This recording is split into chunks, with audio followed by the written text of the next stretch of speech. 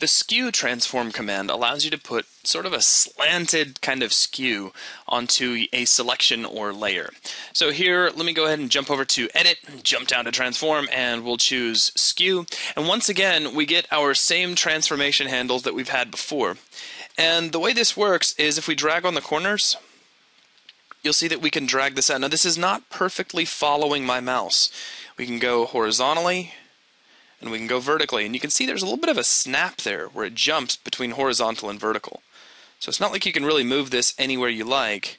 You're limited to moving in one of these two dimensions. And you can do this to any of the corners, like if you want to make something like a parallelogram, like so, or trapezoid. I'll go ahead and actually hit escape. Let's jump back down, choose edit, transform, and go back to skew one more time. You can also click on the side handles and do two corners at the same time. Now, it is important to note that when you grab the side handles, you can't move in a direction that is perpendicular to the direction of that side. So if I'm trying to drag up and down, I get nothing, but I can drag parallel to the direction of that side. Like so.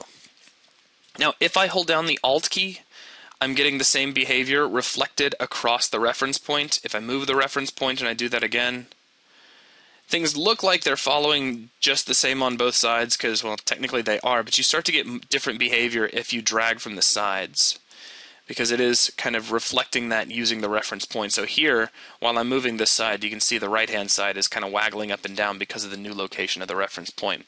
So let's go ahead and hit escape real quick, go back down to transform, and jump back down to skew. And really, that's about it. Uh, that's the basics of it. Now, as you can see, if I take this and I start giving some really weird angles to my sides, you'll notice that as I slide my sides around, they are following that direction that I've defined. And it's important to keep that in mind because you can get some really interesting shapes that way just by first changing the angle of a side and then sliding along that side.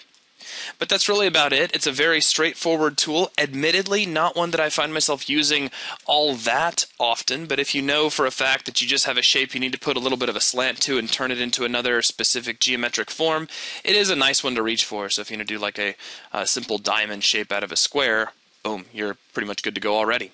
So that's going to wrap things up for this video. Thanks.